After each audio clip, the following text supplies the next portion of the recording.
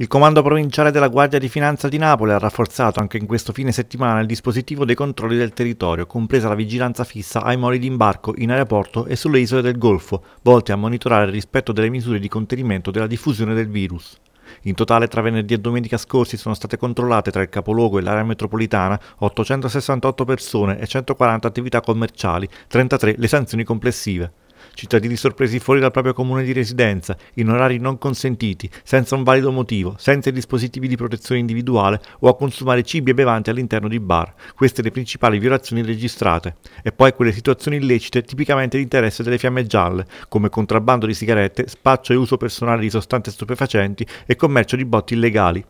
Più in dettaglio, il secondo nucleo operativo metropolitano nel quartiere Agnano, nel corso di un controllo presso un circolo privato, ha sequestrato 312 euro in contanti e 6 videoslot prive di autorizzazioni e non collegate alla rete telematica.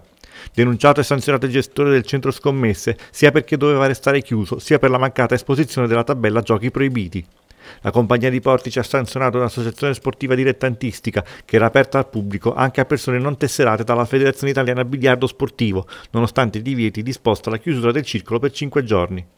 Inoltre dai controlli anti-Covid sono emerse anche altre situazioni illecite notoriamente di diretta competenza del corpo. La compagnia di Castellammare di Stabia ha tratto in arresto a Vicaquenza un 26enne pregiudicato nei cui confronti sono stati trovati a seguito di una perquisizione domiciliare 500 euro in contanti e due peneti di hashish del peso complessivo di circa 200 grammi occultati all'interno di un cassetto della camera da letto. La compagnia editora annunziata nel corso di una perlustrazione di un'area incustodita adibita a cantiere edile ha scoperto all'interno di un rudere diversi involucri di cellophane trasparente termosaldato contenenti 154 grammi di cocaina e 317 grammi di marijuana. Le stesse fiamme gialle hanno sequestrato a Boscoreale anche 18.100 fuochi pirotecnici contenenti 12 kg di polvere da sparo, messi in vendita da un negozio di articoli per la casa abusivamente e senza certificazione per la prevenzione di incendi, denunciato un responsabile.